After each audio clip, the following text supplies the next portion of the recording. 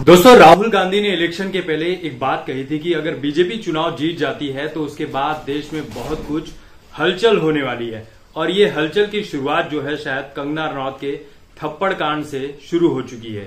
क्योंकि किसान आंदोलन, खालिस्तानी, फिर कंगना रनौत की बातें, ये सब कुछ मिला जुलाकर जो थप्पड़ कांड हुआ है, उस सीआईएसएफ वाली जवान का यही कहना था कि उसने मेरी माँ को कहा था कि सौ सौ रुपए में धरना देने बैठी है।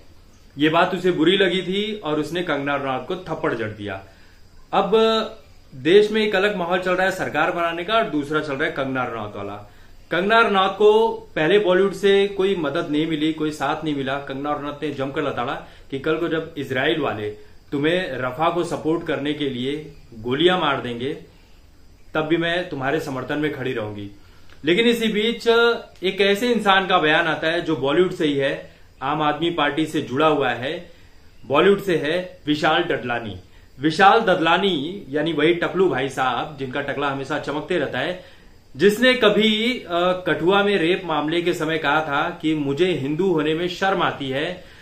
हिंदू मंदिर में रेप हुआ, मुझे बहुत शर्म आती है कि मैं हिंदू हूँ। मुझे हिंदू नहीं होना चाहिए, और प्लाकार्ड वगैरह लेकर ये करीना कपूर, सोनम कपूर, स्वरा भास्कर जैसे तमाम जितने बॉलीवुड के लिबरल गैंग हैं ये एक्टिव हो चुके थे और हिंदू धर्म, हिंदू देवी देवता और मंदिरों को बदनाम करने में इन्होंने कोई कसर नहीं छोड़ी थी प्लाकार्ड वगैरह लेकर। और ये हमेशा देश के खिलाफ खड़े रहने में ये पीछे नहीं हटते।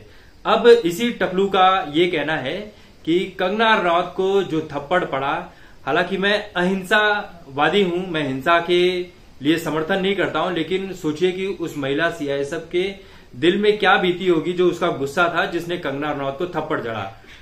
मैं हिंसा के खिलाफ हूँ। लेकिन अगर उसे नौकरी से निकाला जाता है तो मैं ये दावा करता हूँ कि मैं उसे एक लाख रुपए की नौकरी दूँगा और उसका रहने का पूरा इंतज़ाम करूँगा। तब इस टकलू भाई साहब को कौन समझाए कि भैया, जब तुम इतनी ही नौकरी दे सकते हो लोगों को तो देश में बहुत सारे लोग जो बेरोजगार हैं, जो दिन रात मोदी सरकार से नौकरी मांग रहे हैं तो उन्हें क्यों नौकरी नहीं देता? भाई टकले तू, उसे भी नौकरी देनी चाहिए थी।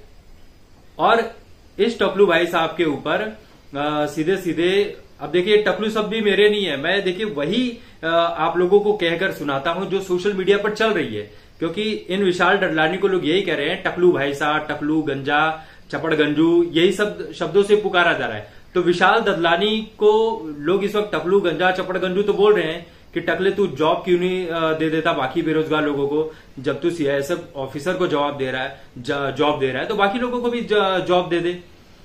ऊपर से सोना महापात्रा जो एक खुद सिंगर है, वो कहती है कि जब मीटू के आरोप में मैंने अनु मलिक के ऊपर जो भी मीटू का आरोप लगाया था, जो भी प्रक्रिया थी तो विशाल डड्डाली से जब मैंने कहा कि तुम्हें उसका समर्थन नहीं करना चाहिए, एक रियलिटी शो में तो विशाल डंडानी ने मुझसे कहा था कि मुझे पैसे कमाने हैं, मुझे इन सब चीज़ों से मतलब नहीं, पैसे कमाकर इंडिया को छोड़कर इंडिया से बाहर जाना है, इंडिया में नहीं रहना है। ये सुना महापात्रा का कहना है। तो आप सोचिए कि विशाल डड्डानी कितने डबल स्टैंडर्ड वाले हैं।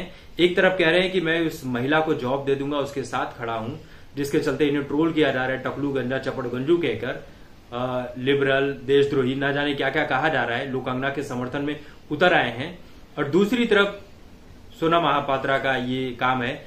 लेकिन तारीफ़ करनी होगी मीका सिंह की। मीका सिंह का कहना है कि उस जवान ने जो भी किया, वो उसकी निजी चीज़ थी, उसे इस तरह ड्यूटी के वक्त नहीं करना चाहिए था। और इसके चलते बाकी पंजाबी लड़कियों को, महिलाओं को नौकरी देते समय प्राइवेट सेक्टर में लोग बहुत कुछ सोचेंगे कि इन्हें जॉब दिया जाना चाहिए कि नहीं दिया जाना चाहिए। इस पूरे विषय पर आपकी जो भी राय है, कमेंट करके ज़रूर बताइए।